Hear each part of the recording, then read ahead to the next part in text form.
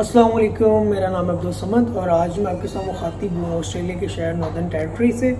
और बेसिकली आज हम बात करेंगे when is the border opening border कब ओपन हो रहे हैं? मोस्टली इंटरनेशनल स्टूडेंट्स का यही क्वेश्चन है। नॉट मोस्टली इंटरनेशनल स्टूडेंट्स लेकिन मोस्टली बहुत सारे लोगों का यही क्वेश्चन है कि ये बॉर्डर्स कब ओपन होंगे और कब हम लोग ट्रैवल कर सकेंगे।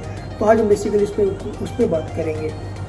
देखिए बॉर्डर्स के बारे में किसी को एग्जैक्टली एक्चुअल जो डेट है ना, वो किसी को नहीं पता।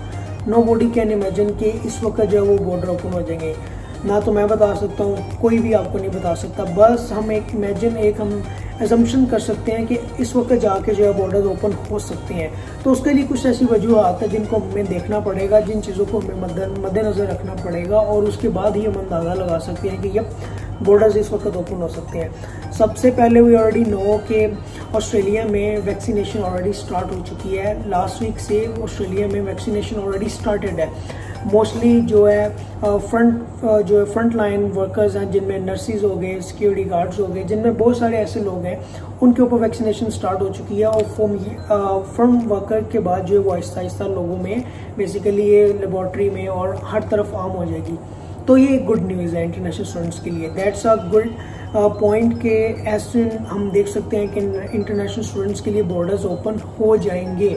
लेकिन कब होंगे? नो बॉडी नोज़ सबसे पहले तो हमें इस चीज़ को, ये आप आप सबको पता होना चाहिए कि ऑस्ट्रेलिया ज़्यादा देर तक इंटरनेशनल स्टूडेंट्स को होल्ड नहीं कर सकता. इस ऑस्ट्रेलिया को अपने बॉर्डर्स ओपन करने ही पड़ेंगे.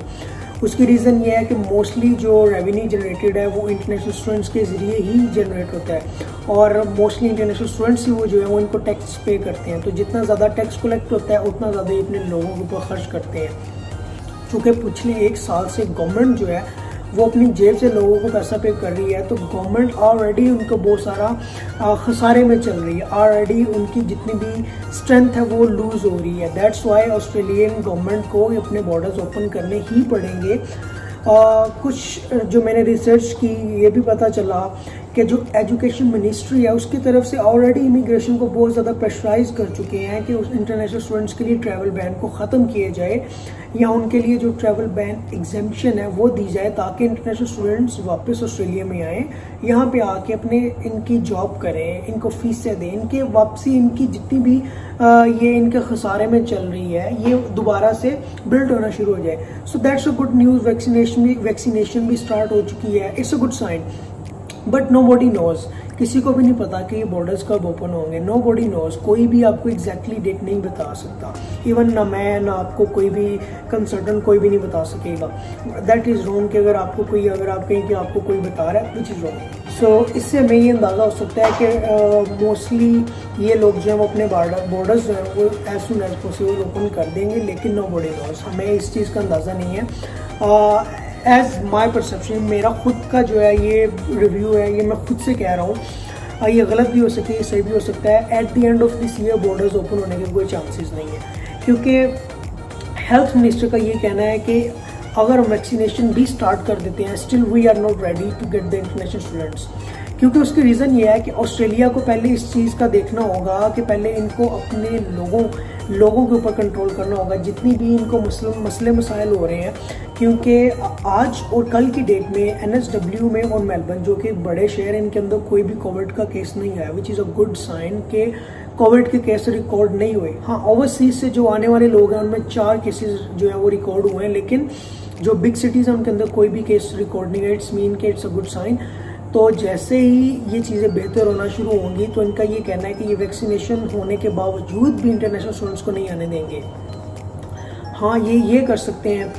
ये पायलट प्रोग्राम के तहत जो भी रीजनल एरिया है, जैसे कि डावन है, एक बिग टेरिटरी है, बड़ा शहर है, एक बड़ा रीजनल एरिया है तो वहाँ पे ये पायलट प्रोग्राम के तहत लोगों को स्टूडेंट्स को लाएँगे। 30 से 40 स्टूडेंट्स को लाएँगे, देखेंगे उसका आउटकम क्या है। क्या दोबारा से इनको केसेस तो नहीं आ रहे? अगर इनको अच्छा आउटकम आएगा तो फिर ये दूसरी स्टेट्स देखेंगे। फिर उस स्टेट के अंदर जो है उस स्टूडेंट्स को लाएँगे। अब वैसा नहीं होगा कि जैसे ही अगर बॉर्डर ओपन हो गए तो तड़ा तड़ स्टूडेंट आ रहे हैं। अब ऐसा नहीं होगा। अब पायलट प्रोग्राम के तहत बाकायदा लिस्ट बनेगी। इतने स्टूडेंट्स इस टेरिटरी में आएँगे, इतने स्टूडेंट्स इस टाउन में आएँगे। उसके बाद जो है बड़े शहरों को देखा जाएगा। जो मेरी नॉलेज में वो यही है कि सिडनी, मेलबर्न में कुछ 2000 3000 स्टूडेंट्स को लो किया जाएगा पायलट प्रोग्राम के तहत। लेकिन उससे पहले जो है वो पहले रीजनल एरिया में जैसे कि डाविन है। डाविन को मोस्ट प्रायोरिटी रखा जा रहा है। उसकी रीज़न ये है कि डाविन में कंट्रोल करना ईजी है। बड़ी टेरिटरी है। थोड़े कम लोगों को ला के उनको कंट्रोल करना ईजी होगा। तो जैसे इनको अच्छा आउटकम आना शुरू हो जाएगा तो ये ईजीली उसके बाद स्टूडेंट्स को बुला लेंगे। लेकिन पायलट प्रोग्राम के तहत ना कि पहले की तरह के इंटरनेशनल स्टूडेंट कहीं पर भी आ रहे हैं। अब वैसा बिल्कुल नहीं होगा। अब हर चीज़ को रिकॉर्ड में रखा जाएगा क्योंकि कोविड की वजह से पूरी दुनिया जो है उस पर इम्पेक्ट पड़ा है। सो so, इवन के कोविड ठीक भी हो जाए, वैक्सीनेशन स्टार्ट भी हो जाए स्टिल जितनी भी countries are not in Australia her country के अंदर अब इन चीज़ों को देख के आई थिंक नेक्स्ट वन एक, दो साल अभी इन्हीं चीज़ों को देख के नज़रअंदाज किया यही चीज़ देखी जाएँगी।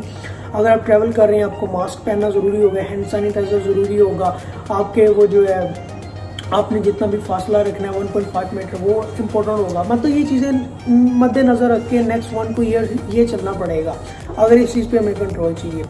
तो दैट्स द बेसिक रिव्यू जो कि मेरी नॉलेज में है, जो कि मेरी रिसर्च में है, जो कि मैंने इन्फॉर्मेशन इकट्ठी की है कि नो बडी नोज़ आपको कोई एक्चुअल डेट नहीं बता सकता।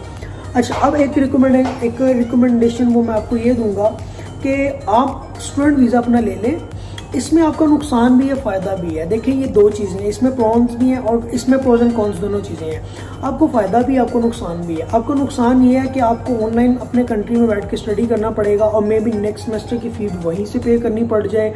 लेकिन उसका फ़ायदा ये, उस, ये फ़ायदा होगा कि as soon as borders open हो जाएँगे तो आपको फ़र्स्ट प्रायोरिटी दे जाएगी। क्योंकि आपके पास ऑलरेडी स्टूडेंट वीज़ा होगा तो आपको फ़र्स्ट प्रायोरिटी में रखा जाएगा। You will be get first priority so so, अगर आप अपना वीज़ा ले लेते हैं ऑनलाइन स्टडी स्टार्ट कर देते हैं दैट्स अ गुड साइन जैसे बॉर्डर ओपन होंगे तो आप पायलट प्रोग्राम में आपको पहले प्रायोरिटी दी जाएगी। वन लास्ट थिंग आपको एक और चीज़ ऐड कर देता हूँ कि अगर आप बॉर्डर स्टिल क्लोज तो आप कैसे अपना वीज़ा लेके आप ट्रैवल कर सकते हैं? जी अगर आपके पास कोई आपकी मेडिकल इंडस्ट्री से आप बिलोंग करते हैं आपके पास रजिस्टर्ड नर्स हैं या आपके पास कोई भी मेडिकल इंडस्ट्री से कोई भी अच्छा तल्लुक है तो आप अपना वीज़ा अप्लाई करें, आपको वीज़ा मिल जाता है तो आपको ऑस्ट्रेलियन इमिग्रेशन को इस चीज़ से सेटिस्फाई करना होगा कि आप ऑस्ट्रेलिया में आके इनकी मेडिकल इंडस्ट्री में इनकी कैसे हेल्प कर सकते हैं, इनकी हेल्थ इंडस्ट्री में आपके आके आप इनको कैसे हेल्प कर सकते हैं। अगर आप ये चीज़ इनको सेटिस्फाई कर दिया तो आपको ट्रैवल एग्जामेशन ईजिली मिल जाएगा। तो आप इजीली ट्रैवल इवन के अगर बॉर्डर्स क्लोज भी होंगे तो आप स्टिल इजीली ट्रैवल कर सकते हैं ऑस्ट्रेलिया के अंदर. So that's it that's it for today hopefully I see next video अल्लाह हाफिज़